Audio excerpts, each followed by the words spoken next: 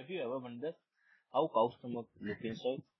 In this short video, I'm gonna tell you exactly how cow stomach made up of and you will feel like I am the happiest and the luckiest person in this entire universe. Wow! So basically, if you look inside, cow stomach have these four compartments. First one is rumen, second one is reticulum, third one is omasum, and finally last one is abomasum. You will ask why animal like cow have four stomach and I am born with a single one. This is not fair God, I want justice. No, cow stomach is a single stomach modified by mark the expansion of esophageal region into three compartments, rumen, reticulum, omasum, collectively known as forestomach, and fourth compartment aka abomasum, also called the true stomach. Question for today.